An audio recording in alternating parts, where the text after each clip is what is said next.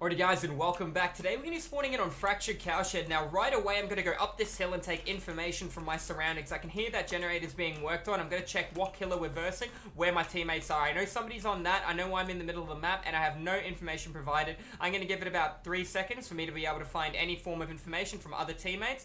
I find nothing. I, they were right. We're gonna. There you go. I saw a little bit of movement at the shack. Then I think at the last second, and that's going to be a Michael Myers. Now, I want to work on this gen. He's pretty close to it. Therefore, I think he knows that nobody's on this generator. He's going to run right past it and go towards that one over there. This is good for us. Notice how he's going straight towards that generator? Kind of makes me think he has discordance. Rather than checking the gen on the left, unless he used sound to check it, like he did on the generator on the right. They're going to get forced off on this. I'm going to complete this generator. I'm going to go on and continue on that. This means I have two other teammates that are MIA, right? They're Maya. I don't know where they are. He got stalked on them, therefore they didn't respond appropriately, unfortunately, but that is okay. That crow spawning in, I'm going to use that as an indicator if somebody is still at that loot. See how the crow has already despawned and left? That tells me that somebody is still at that loot. Now, it could be the killer with the survivor, or it could be somebody working on that generator. Right now, as far as I know, two people are accounted for, including myself. Two people are Maya. That's going to be regression on a generator through a killer perk. And it looks like he's coming right through the middle of the map. He's not coming towards me. That gives him a zero meter heartbeat as well. That is a pyramid head teachable. Bit of an interesting perk to be using on Michael Myers, but at the same time, I'm going to get this generator done here. That is not on me, that is somebody else, and it's pretty damn early as well. Movement on my left from Adam. He's going to come right back in towards this. He's searching the chest first. Alright, that is three people accounted for, I think. Still two, but you know, a generator should have been completed if they were working down here by now. So this means I, I'm kind of thinking everybody's grouped on one side of the board. I should not be coming in for this.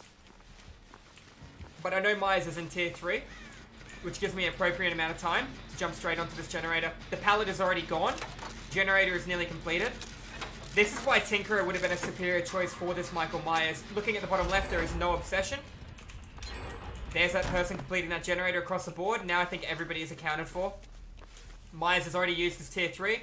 He's put a marker down through his map, through his, a crystal bead. I'm going to go over here to the right and work on this generator. Right now, Myers is getting absolutely destroyed in terms of gen placement, but at the same time, he is overcommitting to his chases. He needs to let go. Thought we could hear a crow behind us. We could see we've got a Claudette over here as well, and she does not have a map in her hand. That tells me that there was somebody else on that generator over there. This is good to know. Myers has still got his tier 3. It'll be expiring real soon. It's not permanent tier 3.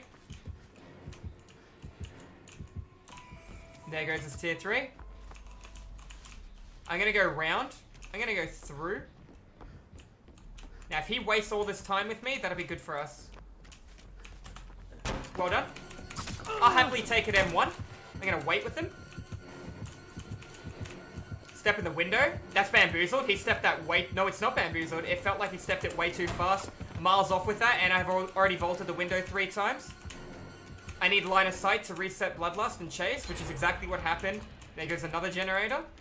We got another gen on our right-hand side. Myers is Maya behind me. He's going to continue to check on that generator. I'm just going to sidestep here and go right back into the generator I was originally working on. That was really unlucky timing for me.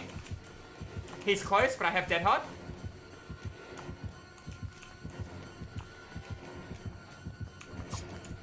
Didn't even need it. If he moonwalks, we'll make a different play. He can have it now, though. One generator left. Using line of sight. Good play by him. However, he thought I'd double back. He didn't even see me then. He doubled back to break the pallet. Now I'm at the god loop again. If he did, for whatever reason, see me, I could have dead-hearted around the loop I currently was at and made the window if I needed to. He goes going to get regression on this. Looks like uh, other Adam's already running in. There's our Myers. Coming towards me, which is fine. I'm going to go around this. I need to check where both doors are. Both doors are accounted for. Running on my right. Oh, no, inside. That's fine. He's looking for tier 3. I'm going to walk inside him. That's good. That's really good.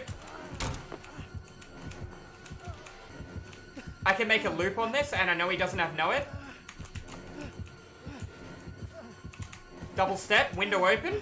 Window, sorry, door open. I can hear the door. He's on the wrong side. And just like that, we're going to be able to get out through the exit gate because he mispositioned himself. We were listening for the door. The door is done, and that puts Myers in a really awkward spot because he ran the jungle gym the way I wanted him to run it. Anyways, guys, GG's well played. If you join this educational, informative rank one survivor game, I was in a jury queue. Make sure you do hit that subscribe button for more educational, informative DBD killer and survivor content. Thank you all for watching, and I'll see you guys in the fog in the next video. Have a good one.